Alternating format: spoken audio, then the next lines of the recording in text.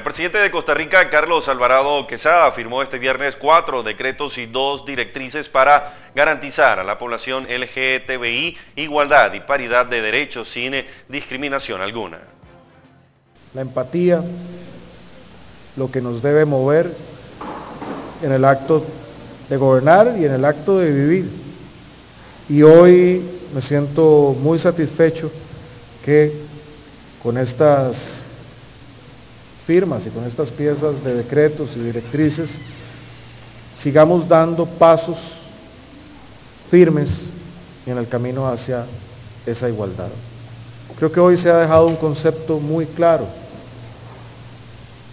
Muchas veces se dice que esto fuera como otorgar un beneficio o otorgar un privilegio, cuando lo que estamos más bien reconociendo es que hay una situación de derechos que gozan una mayoría de una población y hay otras personas que no gozan de esos derechos. A pesar del principio de la igualdad, todos somos personas, todos tenemos dignidad y merecemos respeto. Y lo que hace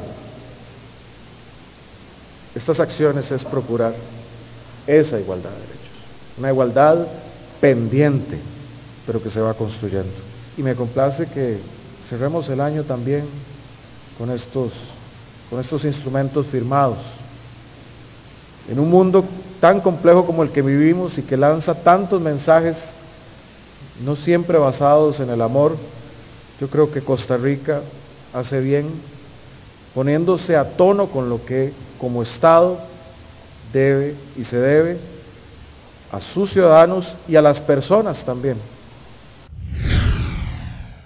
Los decretos reconocen identidad de género en el documento de identidad migratoria para extranjeros, para población trans, estatus migratorio a parejas que se hayan casado en el extranjero y donde alguno de los miembros sea costarricense. Inclusión de la, de la bifobia en el día de la homo lesbo transfobia y declaratoria de interés público del protocolo de hormonización para quienes cambien de sexo.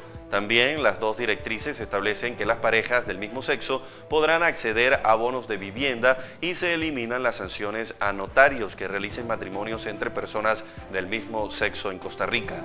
Todos los decretos y directrices rigen a partir de la publicación en el diario oficial La Gaceta.